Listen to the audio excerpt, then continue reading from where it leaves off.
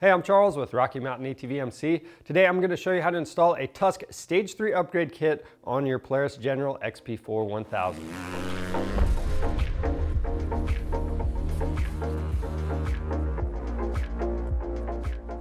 The Stage 3 kit is the premium option from Tusk and it's going to come with some of the most popular accessories to help give you a more comfortable ride and some added protection on your machine. So what comes with this kit is the folding glass windshield, the pivot folding mirrors with A-pillar mounts, you've got a polycarb rear window, a cargo rack, and the hitch mounted spare tire carrier. Now when you buy all these items in one kit, it's gonna help save you some money and all of this stuff is straightforward to install. So let's get started. Now over at the machine, we need to prep the windshield mounts and the mirror mounts at the same time. To do that, we need to remove these two A-pillar mounting bolts in the bottom right here. There's two nuts on the back side. We're gonna reuse those, but the easiest way to keep them in place is to shove a rag down behind this A-pillar, and it's just gonna hold those nuts in place while we remove these bolts. And we are gonna reuse the nuts. We're not gonna reuse these bolts.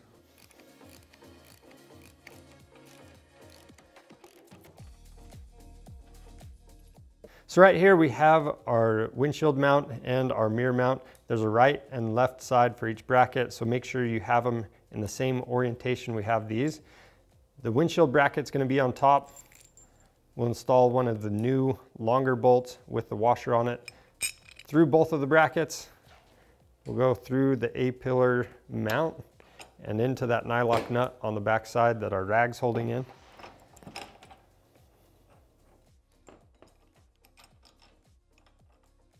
Then we're gonna tighten both of these bolts enough that we can still make some adjustments, but make sure it's not too loose. We're gonna use a 17 millimeter socket to do that. Then we'll do the same steps on the other side.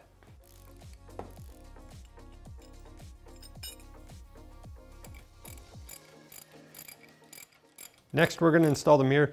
To do that, we just need to use a 13 millimeter wrench to loosen up this bolt. When you remove it, pay attention to where that star washer is. And all we have to do is go through the back side of the mount with the bolt, install the star washer, and thread the bolt into the mirror. Now these mirrors do have a right and a left side, so just make sure that the logo is, is in the correct orientation. And then we're gonna do the final tightening once we have all of our brackets adjusted. Then we'll do the same for the other side. To prep the folding glass windshield, what we need to do, we've laid our blanket down, we've set the folding glass windshield face down, and then we need to install the bulb seal onto it. So we have several different sizes that we need to attach, but we're gonna start with the sides and top. So that's gonna be the longest piece of bulb seal and the actual bulb, that's gonna be facing up when you put this on. Now, as we install this, we're just pressing this on there. If there's any spots where it doesn't fit tight, you can simply pinch this together and it's gonna give you a tighter fit.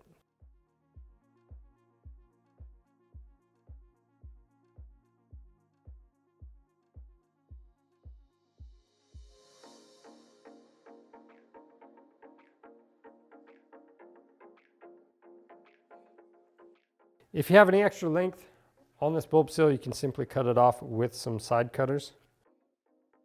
Now we need to install these shorter pieces of bulb seal. Now this is a 90 degree bulb seal, so you need to make sure that the seal is facing in towards the cab. And these are just gonna go across the bottom on all of these shorter pieces. So we're gonna start with this longer one. This goes right in the middle.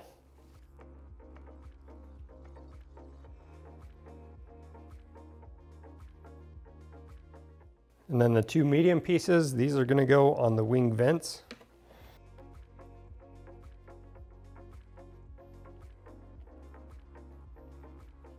Then the two shorter pieces on the outsides.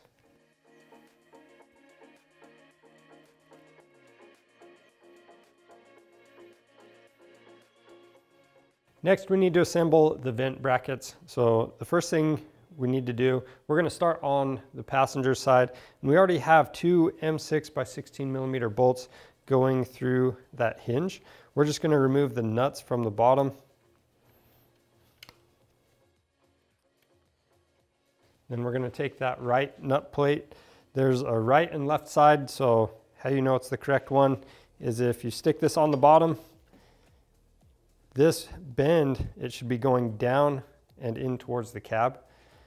And we're gonna loosely install the nuts back onto those two bolts. Next, we have the hinge mount. So with this, the triangle side, that's gonna be facing towards the outside of the machine. Set that on there. We've got two more M6 by 16 millimeter bolts. They're gonna come through the front of that vent door, through that bracket, and then we have the two nylock nuts that are gonna go on the back side. And all of this hardware is gonna be left loose until we have it all assembled, then we can make some adjustments. Next, we have our hinge lever. So with this lever, you know, if we start down at this pivot, that arc is gonna face or go up towards the top, just like that. Again, we have an M6 by 16 millimeter bolt. We'll go through that hinge bracket, through the hinge lever, and install a nylock nut on the back side. After that, we have a hand knob that's going to go through the hinge lever. We'll install this friction washer on the back side and then go right into the nut plate with it. And now that we have everything loosely installed, what we want to do is get everything to where it's almost tight, make your final adjustments, make sure that the vent door opens and closes all the way, and then do the final tightening on all the hardware.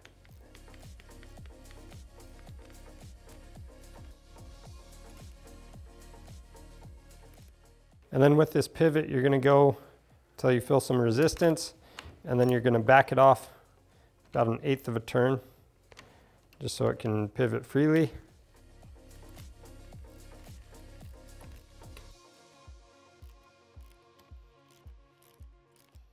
Then once you finish this side, you wanna repeat the steps for the other side.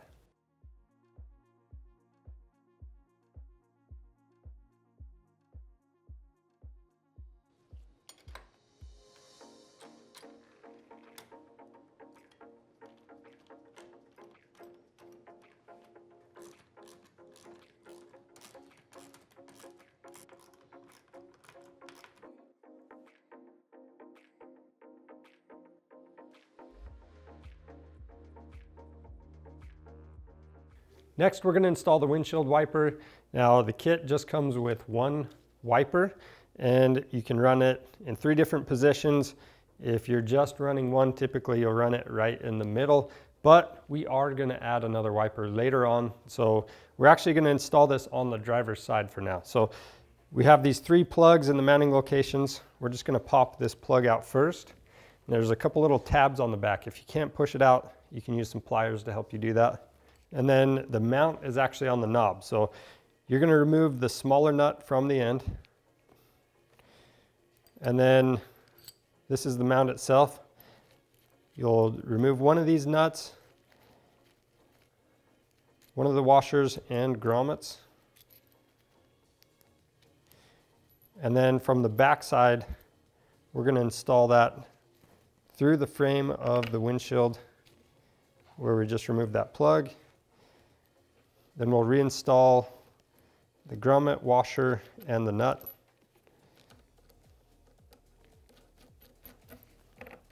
I'm actually going to snug these down right now. And I'm just going to use two 17 millimeter wrenches to do that. They don't have to be crazy tight. We're just putting a little tension on those grommets. The next step is to attach the wiper to the wiper arm. So we need to press on the two tabs on the wiper, open that up. We're gonna take the wiper arm and this is just gonna hook right onto the wiper and then you can press the cover down. So once you've done that, you have your knob, you're gonna go through the back side and just pay attention. So with the knob where it angles down, I'm gonna try to line that up with the wiper arm. And what we need to do when we install this, there's splines in this wiper arm that line up with that knob handle. So we've lined up our splines. We'll install this smaller nut We're going to use a 10 millimeter socket to tighten it down. I'm just going to snug that up and press the plastic cover down. Then I'm just going to set that out of the way for now. And we're ready to move over to the machine. Next, we need to prep our upper brackets. So to do that, you're going to see two dimples on each side of the stock visor on the front. So those dimples, we already drilled them out using our 3 8 inch drill bit, but you're just gonna drill straight through there. If it's easier for you, you can drill through the backside, but the dimples are gonna be on the front. Now to get the upper mounting brackets installed, we're gonna take the M8 by 20 millimeter bolts with one of the flat washers. We're gonna come through the front of the stock visor in both mounting locations. And then you're gonna take this mounting bracket, stick it on the back side, or we're gonna install the flange nuts on the back. Next we have a spacer that's gonna go on the front side of the bracket. We're gonna use an M8 by 16 millimeter button head bolt from the back side to hold that in place. And just like the other mounts, all of this stuff is gonna be left loose until the final steps. So we can go ahead and do the same steps on the other side.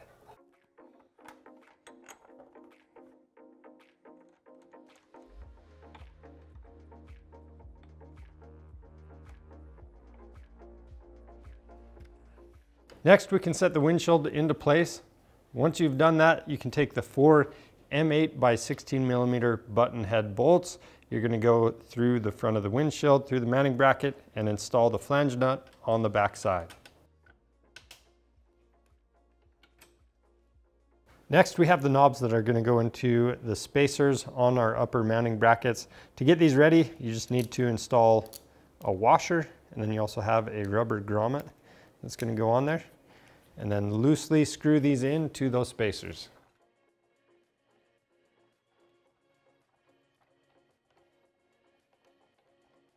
Now with all this hardware loose, you should be able to adjust the windshield from side to side until it's even and then you want to get the best optimal fit up and down. So basically what you're looking for up and down, you want there to be a good seal across the bottom of the windshield. Once you have your desired fit, you want to start by tightening the A-pillar bolts. Then we're going to tighten both of the bolts on the lower mounting brackets, and then we'll tighten the hardware on the upper mounting brackets.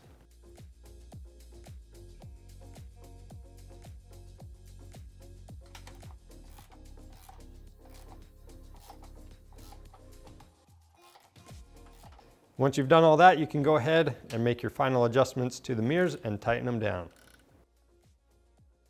The next step is to install our standoff brackets. So there's a right and left hand bracket, but when it's on the machine, it should look just like this with the rubber pad facing towards the rear of the machine. So I'm gonna take this and I'm gonna take the hand knob that was in the top of the windshield and I'm actually gonna go through the back side of this corner and mount the standoff bracket to the windshield. I'm going to gently set that down and do the same thing on the other side.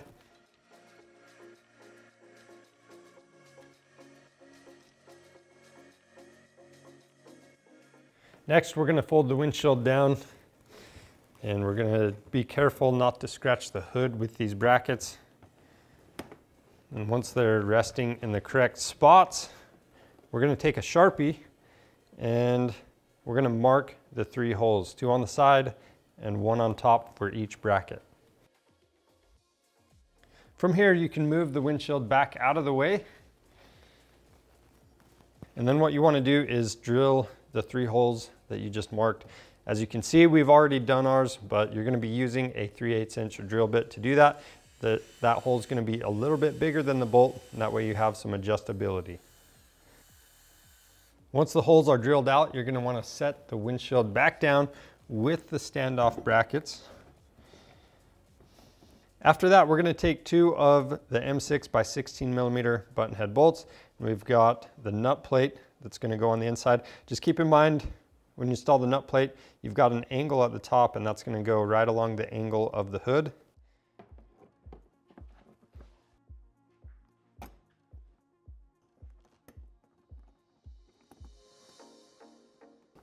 We're going to use a 4 millimeter Allen to loosely screw those button head bolts into the nut plate. Once they're loosely installed, you want to take the remaining button head bolt, go through the top, then you're going to have the M6 flat washer and the nylock nut on the back side. Then we'll go ahead and do the same steps on the other side.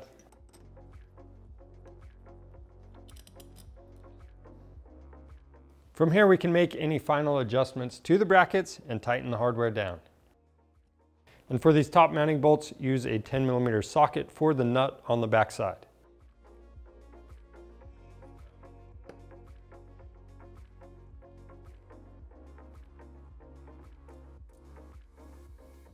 To get the polycarb rear window and the filler panel ready, we need to apply some foam tape to these pieces. Now there's two rolls of foam tape. You've got the thin stuff and the thicker stuff. The thicker stuff is gonna go on the polycarb rear window, thin stuff on the filler panel. Now with the filler panel, you have two bends. So we have those both facing up right now. And on one of these bends, you've got slots. So we're gonna apply the foam tape to the opposite side as well as these two edges on the end. So we'll apply the thinner foam tape along the sides. We'll cut it to length.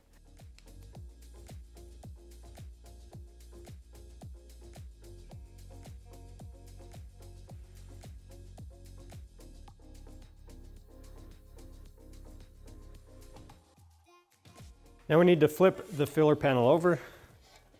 And again, we're gonna use that thin foam tape across the bottom right here on this outside edge.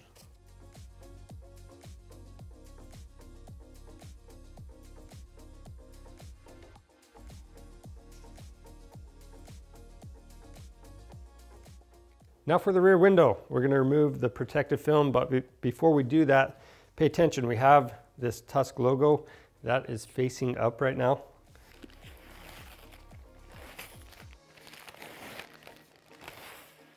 Now we can take the thicker foam tape. We're gonna go all the way around the perimeter of this side that is facing up right now. Just keep in mind, you wanna stay about a 16th to an eighth of an inch away from the edge, and you wanna avoid from covering up these mounting holes.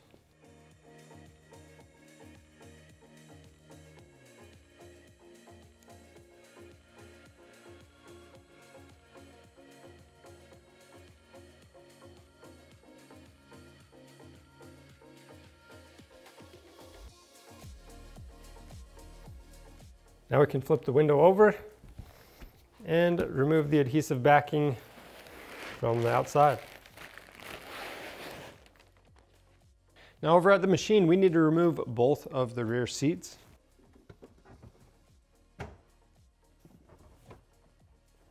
Next, we're gonna set the filler panel into place. We've got the three sides with the foam tape. That's gonna seal against the back of this roll cage. And then the side with the five holes, that's gonna be facing down.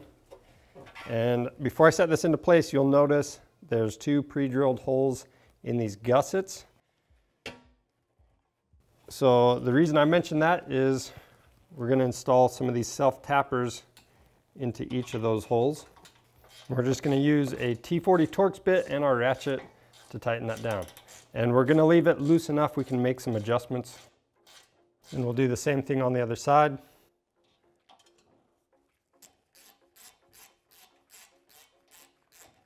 And then for the middle section, we have the filler panel bracket with the two threaded inserts that's gonna go on the inside. And then again, two self tappers are gonna go to that.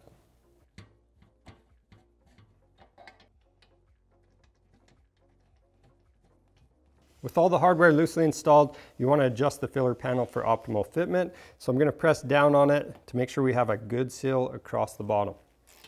And we'll go ahead and tighten the bolts in the corners first and then the middle.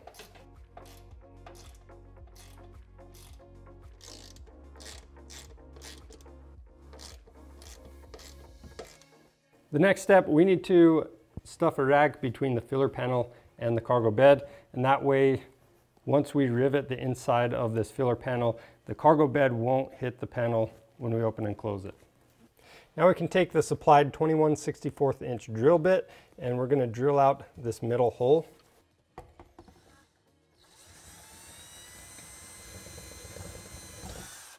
Once you've done that, you want to install one of these push rivets. And to get this to go all the way in, you're going to have to press down so the metal surface is flush with the plastic. Then we can do those same steps for the remaining four holes across the bottom of the filler panel.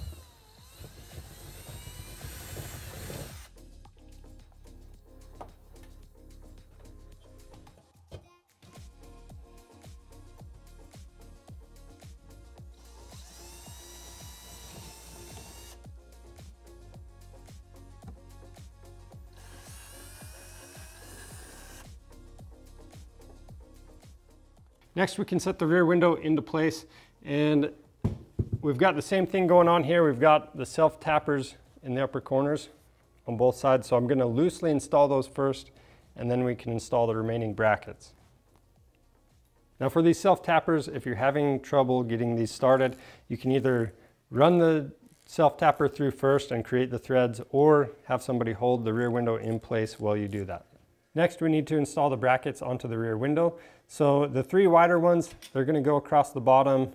Again, we've got these self tappers. They're gonna go right in there. Then we're gonna finish with the narrow bracket on top.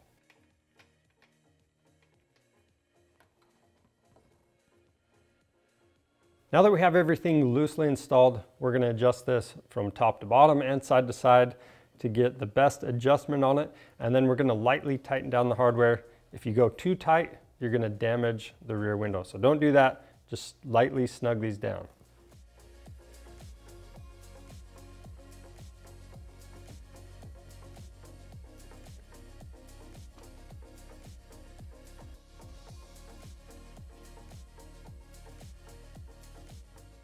After that, we can reinstall the seats.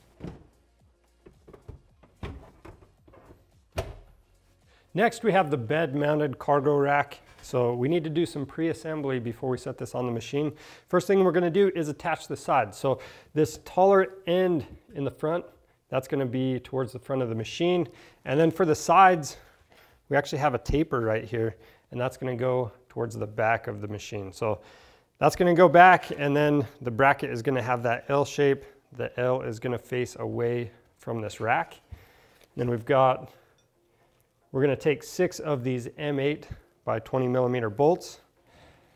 And we're gonna loosely install these in the three mounting locations.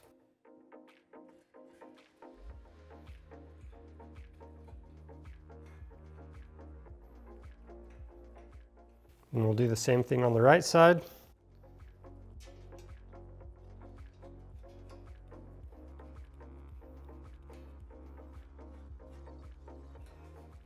Now we need to attach the right and left support gussets. These are different from side to side. So how you tell you have the correct orientation is you'll have the three dots towards the top and then the bottom mounting location, that's gonna be slightly more forward than the top mounting location.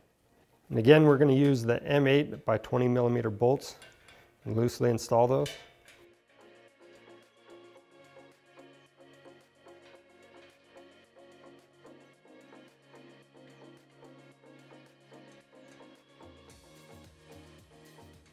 Now we're gonna flip the rack upside down.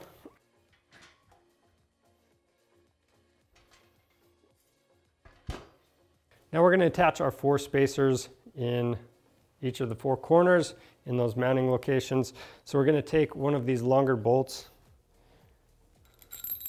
install one of these smaller washers onto it, go through the side, install the spacer. You've got one more washer and then you've got a nylock nut. We can go ahead and tighten these down as we put them on.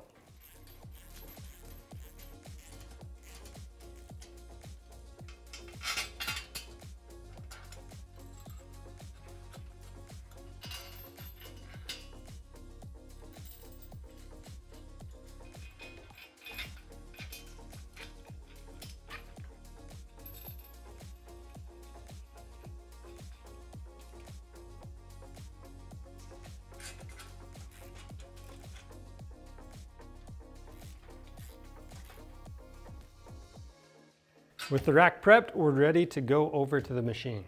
Next, we'll bring the cargo rack over to the machine and those plastic spacers, we're gonna make sure that all four of them go into the end slots on the sides of the cargo bed. After that, you're gonna to want to tip the cargo bed back. Then we need to remove both plastic panels on each side of the cargo bed. So some of these, they're gonna have this quick clip. You just twist it, pull that out. But on other machines, you might have a screw going in there that's gonna take a T40 Torx bit so once you have that removed, you can pull out on the side of the plastic and get that out of the way. To attach the cargo rack to the bed, we need to install this fender washer and nylock nut onto the end of this bolt going all the way through our plastic spacer. That's gonna be in all four corners. And this is kind of hard to see, but in the back mounting locations, you're gonna go through this slot. We're just gonna install them by hand for now.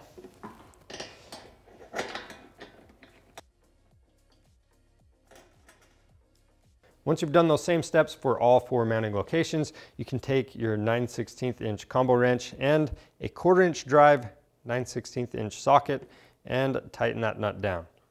And I do want to mention when you tighten this hardware down, you don't want to over tighten it.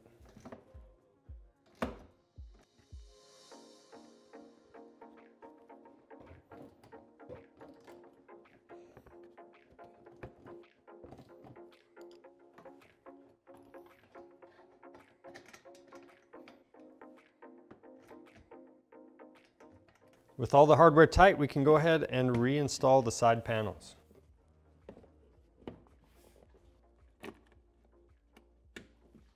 After that, you want to close the cargo bed and the final step is to remove the button head bolts that we previously installed one by one. And what we're going to do when we take them out is apply some of the supplied Loctite to them and then do the final tightening.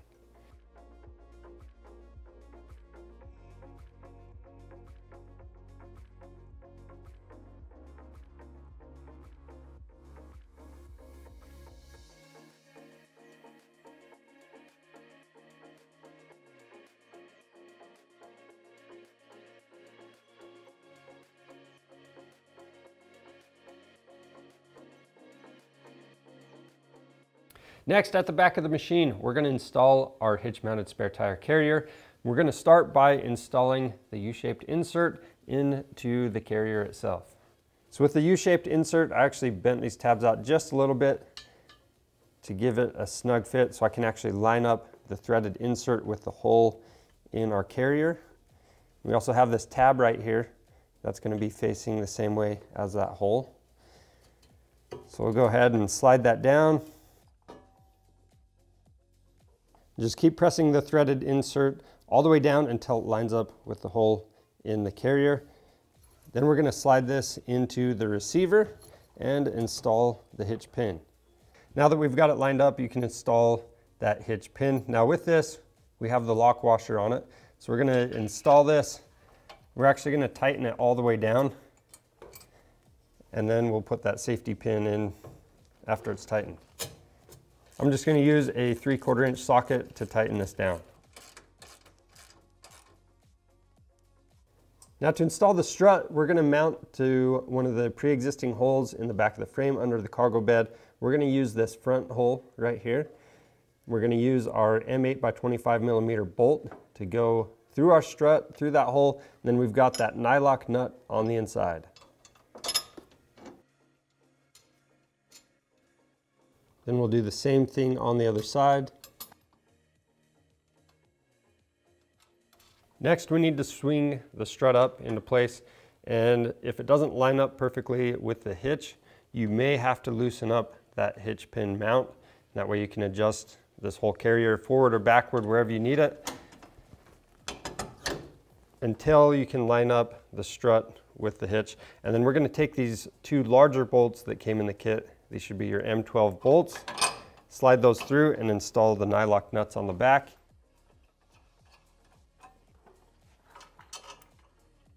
And now that we have all the hardware loosely installed, we can go back through and tighten everything down. So the larger bolts are going to take a 16 millimeter socket and an 18 millimeter wrench. And we've got a 10 millimeter socket and 13 millimeter wrench for this inner hardware, attaching it to the frame. So that's how you install the spare tire carrier. The last step is to adjust the mounting plate to your specific wheel. Now there's so many different options. Each wheel or spare tire is gonna be a little bit different. So how you do that is take your 15 millimeter socket and wrench. You're gonna loosen the four mounting bolts on the mounting plate, adjust that in or out. So you've got about an inch between your tire and the hitch. And that's how you install the Tusk Stage 3 upgrade kit on your Polaris General XP4 1000. If you have any questions about the install process, leave those down in the comments below. And if you need one of these kits, maybe you haven't picked one up yet, you can find these on our website. They qualify for free shipping. And if you want to see more helpful content like this, subscribe to our channel. I'm Charles with Rocky Mountain ATV MC. Thanks for watching.